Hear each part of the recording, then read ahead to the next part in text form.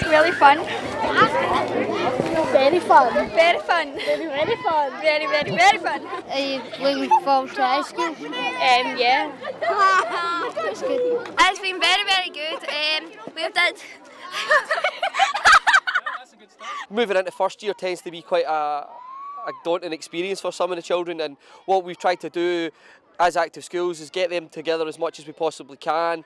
Um, there's been various bits and pieces that happen throughout the school year, but this is the main event that we do. We get them all together for these days, today, yesterday and tomorrow, and they all come together with a group and really go for it.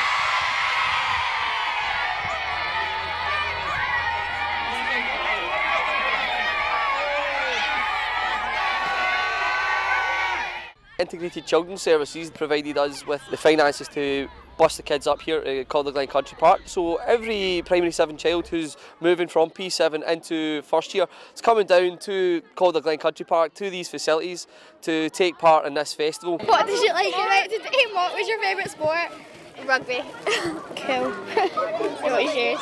How Um, people Rugby. Active schools depend a lot on uh, volunteers and in East Kilbride we've got a really strong volunteer network. So all the young ambassadors, all the coaches uh, that are delivering the programme today are all volunteers through either senior pupils at high school, sports leaders, they're young ambassadors. Um, we're also looking at a lot of uh, students who are coaches who are with the Active Schools programme and they work throughout the year with us.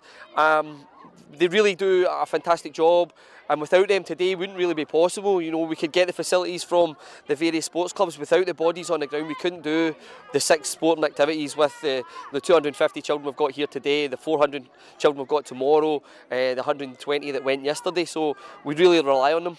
We have the tennis, um, football, um, athletics. The hurdles are very hard and the wind keep blowing them over. I thought it was really good because we get to meet people we're going to high school with. Tennis. And my favourite event was tennis. Well, my favourite event so far is it's got, it's got to be the rugby. What?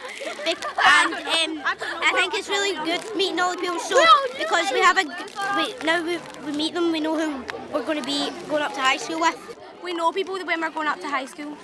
And plus we could have met. And it was fun. Rugby was the best. Um, the rugby and the hurdles and the tennis. Yeah.